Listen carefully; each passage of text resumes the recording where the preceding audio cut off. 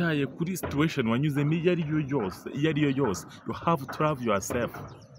Utitaye ku bikomere wanyuzemo ibyo ari byo byose you have to love yourself.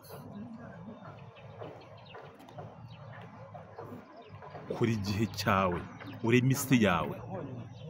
Yes you have to create your own world. Ukeneye kurema isi yawe ukayenjoyinga please. Ukeneye kurema isi yawe ukayonjoyinga nta wundi muzakuremera isi. Nta wundi uzakuremera ibyishimo. No except yourself. Ni wowe wenyine. So start from today. Ukuntu ugenda ukifungirana mu nzu ukifungirana mu cyumba ugahora mu marira ugahora mu marira ugahora urira ugahora urira. Ugasanga uri gutonganya imana ngo imana irya ruswa ngo imana ngiye byageze gutya na gutya. No no no no. It will be always God almighty God.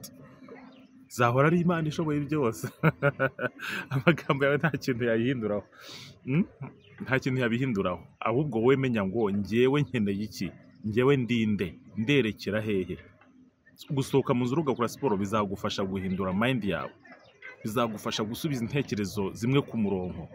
Bizagufasha kumva yuko nawe ukunzwe. Eh? bizagufasha kumva yuko nawe uri umuntu w'agaciro uri umuntu ukaze. Yes! Ukeneye kwiyatura amagambo meza. Ukeneye kuvuga amagambo meza kuri wowe. Mm? ukeneye kwigirira icyizere gishya kongera kumva yuko uri umuntu mushya kongera kumva yuko uri umuntu udasanzwe kongera kumva yuko uri umuntu ukomeye. Reka nongere mbasuhuze kandi mbifurize ibihe byiza mwe mukomeza kubana nanjye mu biganiro bitandukanye ariko bikomeje eh, gufasha abantu mu kugira ubuzima bwiza mu gutuma biyumva neza ah, cyane cyane mu bijyanye n'imitekerereze. Ngira ngo mumaze kubimenyera ko dukora session ya ivure aho tuganira ku bintu bijyanye n'ibikomere ni gute wabisohokamo ni gute wabivamo ah, kugira ngo usigare utekereza neza umeze neza imirimo yawe yose ukora igenda neza. Ah, kandi nezezwa nuko hari abampa feedback y'uko bigenda bimera neza. Ah, ntabwo biba byoroshye kubona umwanya kugira ngo tuganire kuri ibi ngibi ariko ku mpamvu z'ubuzima bwiza ku mpamvu z'uko nezezwa nuko hari abagenda bakira abantu bagenda basohoka mu bikomere bari barabuze uburyo biyakira bakiyakira bahuye n'amadepresiyo agiye atandukanye ugasanga umuntu ari mu gahinda gakabije cyane ku buryo bukomeye agera ku rwego yiheba agera ku rwego ashobora kwiyambura ubuzima ibyo rero biranezeza cyane iyo mumbwiye yuko oh, hari ibigenda bihinduka hari uburyo mugenda mumera neza umunsi ku munsi umunsi ku munsi. Wow ndavuga ngo ni byiza cyane.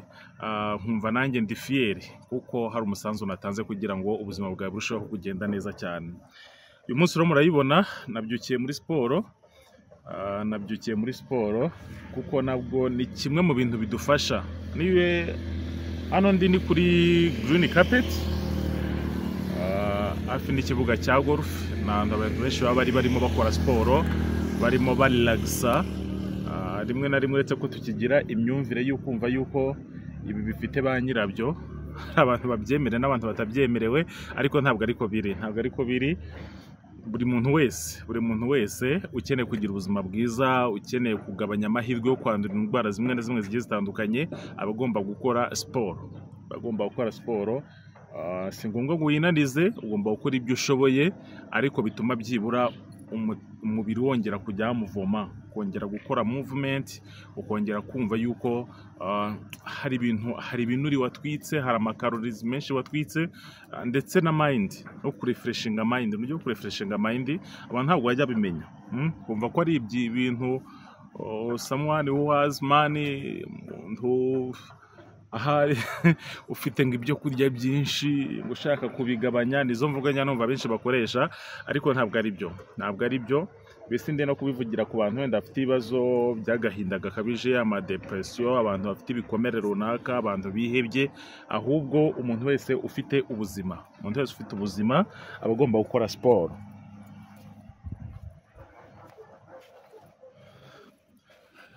So rero ndagira mbibwirire rero siporo ko ari kimwe mu bintu bishobora kugufasha. Ibintu bishobora kugufasha ah, ntukabyirengagize. Ntukabyirengagize eh, ngo wumva yuko ari ibintu wakora wabonye umwanya. Ahubwo siporo yifate nk'akazi. Kuko ubyukira ku kazi ukajya gukora ah, ukumva yuko ugomba kujya gukora kugira ngo ubeho. Na siporo ni kimwe mu bintu bishobora kugufasha kugira ngo ubeho neza. Nkunda kubivuga ushobora gukorera amafaranga umwaka wose. Ukayivuza mu kwezi kumwe. Kwezi kumwe se ahubwo. Ushobora no kwivuza icyumweru kimwe. Sibyo icyumweru kimwe akaba arashize. Icyo nshaka gusobanura ni cyangwa cyangwa ngaho? Ikintu ushaka gusobanura ni iki ngiki? Hari uburyo twikaranga tugakora akazi tukavuga reka dukore amafaranga menshi reka dukore ibishoboka byose ah, tubone amafaranga. Wisebo ni byiza ni byiza kuyakorera ariko se about your health? Ku bijyanye n'ubuzima bwawe byo ubitekerezaho iki? Urakora ukananiza umubiri ukananiza ubwonko mm? niyo mpamvu usanga bamwe barwara za stroke. Nta mwanya wo kuruhuka. Always ari mu kazi every time mu kazi 24 hours arimo arakora ntabwo aruhuka. Eh? mugomba kwita ku buzima bwanyu. Mugomba kwita ku buzima bwanyu. Ni message iri rusange ariko noneho kuri ya gahunda yacu ya ivure. Eh, ya gahunda yacu ya ivure reka nyivugeho gatoya kubera yuko ibi ndi kukubwira ni ingenzi. Nanjye mba nayigiyemo mba nakoze nkazenguruka nkazenguruka nkazenguruka ku buryo umubiri numva unaniwe. Ibyo birafasha cyane. Uretse gutwika ibyo binuri gutwika za calories ziri muri wowe ariko ni ukurefreshinga mind ukongera ugashyira ubwonko ku murongo mm, kongera kumva kuri gutekereza neza ugahura n'ama new faces ugahura n'amasura mashya mm, abantu bashya mugahura mu buzima kongera kureba ikirere. Ibyo bintu birafasha cyane birafasha cyane. Ni byiza rero yuko siporo uyigira ingenzi mu buzima bwawe mm? Ukumva ko ari ikintu ugomba gukora nk'akazi kugira ngo ubeho neza. Ubeho neza. Akenshi usanga ibintu tuba turya umunsi ku munsi bitugiraho ingaruka. Mm? bitugiraho ingaruka sometimes kumva umubiri wawe urananiwe. Eh, kumva urananiwe. Ntibaze se n'iki kiri kunaniza biri kugenda gute? Ariko nta kindi. Mm? Ni bya bintu urya buri munsi. Ntugire n'igihe cyo kugira gute cyo kumva umubiri wawe ingingo zawe wazikorera movement kugira ngo zikore zirelax so noneho tugiye rero kuri gahunda ya ivura. Akenshi abantu bakoze stress recording. Mm? abantu bafite amadepresiyo abantu bari mu gahinda gakabije muba mukeneye gukora siporo mukeneye gukora siporo cyane. Kubera yuko hari igihe kigera bamaze gutangira kwinjira mu ngaruka zabyo muri impact ziri negatives. Usanga wagumye ahantu hamwe eh? usanga uri ahantu hamwe udakeneye guhura n'abandi tukeneye kwegera abandi bantu ngo muganire so bivuze iki reka mbegere hano kugira ngo mpabwire nitonze kuko ahangaha ni ho ni ho ruzingiye ku- kugira ngo nkore ino video ndi muri siporo winjiye muri depression mm? Wabaye deprime wagize ama stress wagize ibikomere bikabije bituma wiguma wowe ku giti cyawe wumva ukeneye kubaho wenyine. Cyagiye rero kuba wenyine umeze nk'umuntu ufungiranye. Umeze nk'umuntu ufungiye ahantu runaka. Ariko ubwawe ukumva yuko uri muri normal life uri mu buzima busanzwe. Ariko ntabwo waba usanzwe. Kubera yuko remember ntabwo ariko wari uteye imbere. Mbere wari umuntu usabana mbere wari umuntu wumva ukeneye kuba uri kumwe n'abandi mbere wari umuntu wumva ugomba kwishima mbere wari umuntu usohokana n'abandi mbere wari umuntu wiyitaho ariko winjiye mu buzima bwo kumva ushaka kuba wenyine. So kubera ubwo buzima rero bwo gushaka kuba wenyine rero ibyo bintu bizatuma ingingo zimwe na zimwe zidakora.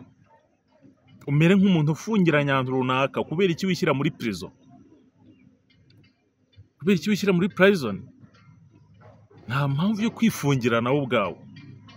Dopurise kwa kundi uri kuguma hamwe wenyine ni bwo uri kongera amahirwe menshi yo kujya mu rwobo uri kwicukurira. Say this reka mbivuge gutya.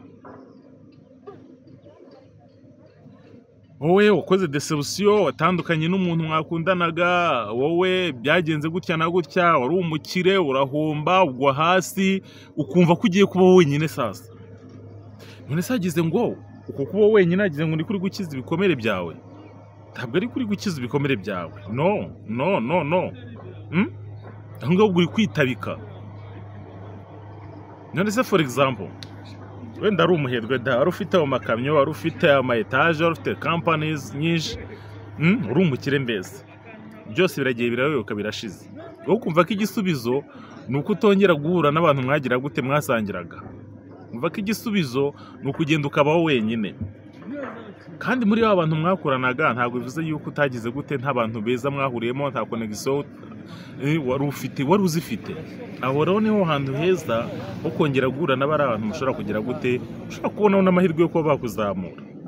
Ibi ndi kubivuga mu buzima busanzwe eh? ndi kubivuga mu buzima busanzwe. Ariko ikintu ngamije cyane ni iki ngiki rero. Ku bantu mufite ibikomere ku bantu mufite ama stress recording ku bantu bafite ama depression ku bantu nyine bumva bari mu hahandi bakeneye kuba barizore. Mukeneye kuva mu rugo mugakora ka siporo mukarefreshinga mind mukongera mugasubiza ubwonko bwanyu ku murongo.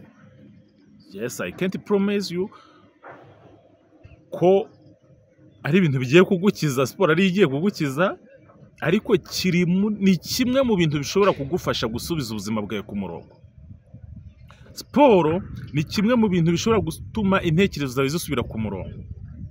Siporo ni kimwe mu bintu bishobora gutuma wongera kugarura ibyishimo muri wowe. Siporo ni kimwe mu bintu bishobora gutuma wongera kumva nawe uri uw'agaciro ukongera ukikunda. Gukora siporo no kuba wikunda. It's about health.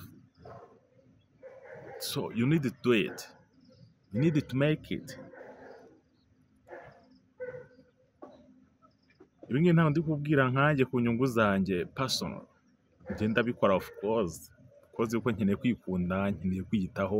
Bimwe njya mbabwira ngo ah, ukeneye kugira gute? Ukeneye kubanza kumva yuko wowe ubwawe ni iki nkeneye? Hmm? about your happiness. About your health. About your vision. About your future. Ukeneye kumva yuko ugize gute? Wiyitayeho ukeneye kwikunda. You have to love yourself. You have to love yourself first of all.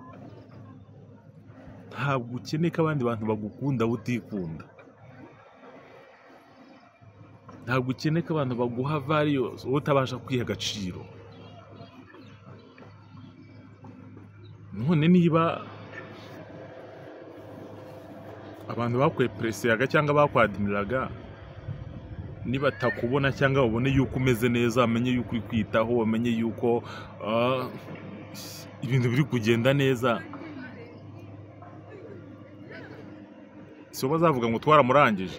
Mm, twamushyize hasi. So wake up. Wake up. Start from today to love yourself.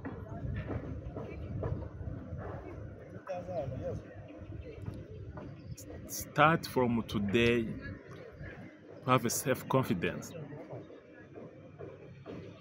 ni ubuzima bwawe. Ni ubuzima bwawe. So nukora siporo rero hari ibitekerezo biba biri muri wowe uba utangiye kugenda usohoramo mu buryo bumwe cyangwa ubundi. Kubera yuko urananiza umubiri umubiri umere nk'aho wahinduye ah, wahinduye puresi wari urimo wahinduye ahantu wari uri biratuma hari ibintu utangira gutekereza bushyashya kuko ugenda ukifungirana mu nzu ukifungirana mu cyumba ugahora mu marira ugahora mu marira ugahora urira ugahora urira. Ugasanga uri gutonganya imana ngo imana irya ruswa ngo imana ngiye byageze gutya na gutya. No no no no. It will be always God almighty God. Zahora ari imana ishoboye byose. Amagambo yawe nta kintu yayihinduraho. Mm? Nta kintu yabihinduraho ahubwo wowe menya ngo njyewe nkeneye iki? Njyewe ndinde nderekera hehe? Gusohoka mu nzu ugakora siporo bizagufasha guhindura mind yawe. Bizagufasha gusubiza intekerezo zimwe ku murongo. Bizagufasha kumva yuko nawe ukunzwe. Eh? bizagufasha kumva yuko nawe uri umuntu w'agaciro uri umuntu ukaze. Yes! Ukeneye kwiyatura amagambo meza. Ukeneye kuvuga amagambo meza kuri wowe. Mm? Ukeneye kwigirira icyizere gishya kongera kumva yuko uri umuntu mushya kongera kumva yuko uri umuntu udasanzwe kongera kumva yuko uri umuntu ukomeye. Anyone uzakubwira yuko ukomeye utabanje kubyibwira. Anyone I'm telling you the truth. Nta wundi muntu uzakubwira yuko ukomeye utabanje kwiyumva yuko ukomeye. Nta wundi muntu uzongera kukubwira ko uri mwiza utabanje kubyibwira. Hmm? talk to yourself wiganiriza uganiriza n'umutima wawe ubishyire muri mind yawe wumve yuko birimo. Ugomba kwikunda ugomba kwihesha agaciro. Still have hope of life. Turacyafite icyizere cy'ubuzima. Turacyafite icyizere cy'ejo hazaza. Utitaye kuri situation wanyuzemo iyo ari yo yose iyo ari yo yose you have to love yourself. Utitaye ku bikomere wanyuzemo ibyo ari byo byose you have to love yourself. Kora igihe cyawe ureme isi yawe. Yes you have to create your own world. Ukeneye kurema isi yawe ukayenjoyinga please ukeneye kurema isi yawe ukayonjoyinga nta wundi muzakuremera isi. Nta wundi uzakuremera ibyishimo. No except yourself. Ni we wenyine.